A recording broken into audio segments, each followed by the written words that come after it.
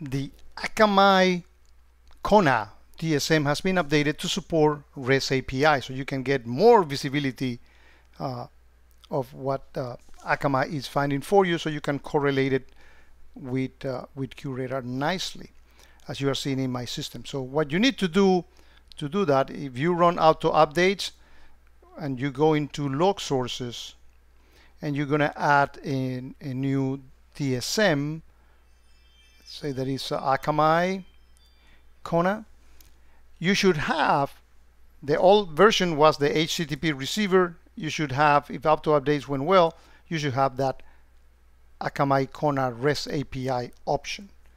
If you don't, you need to download a few files and and I'm going to show that at the end of the video. Let me show you uh, what I did to configure mine here. It's very, very easy. I just give it a name, uh, put some log description. Again, I selected the REST API. Now, these parameters, I, I put the, the source identifier, whatever unique name you want to give it. Uh, these parameters, host, client token, client secret, access token, and security configuration ID, you need to get from your uh, Akamai support folks. Because I deployed mine and it was able to retrieve the certificate, uh, the first time that I was configuring this, I selected yes. After everything when was successful, it comes back to no. When you see that, that's an indication that the certificate was uh, retrieved the first time. It no longer has to be retrieved again, and life is good.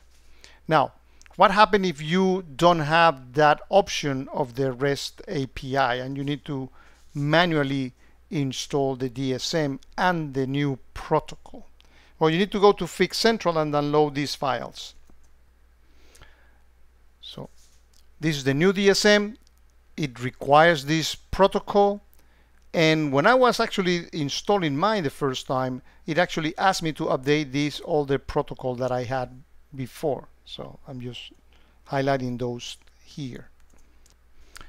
Once you have downloaded those, you move them using FileZilla or whatever else you want to use to put them in the QRadar box.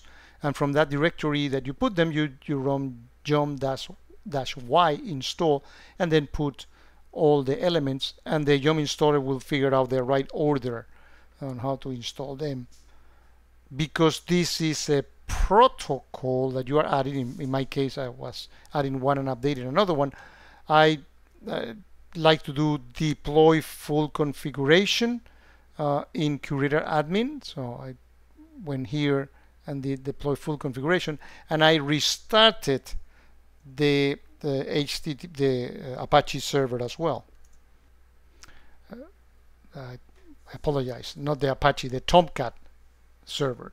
And I do it the old way. Service tomcat restart and the thing redirects you to the new way of doing it with system control.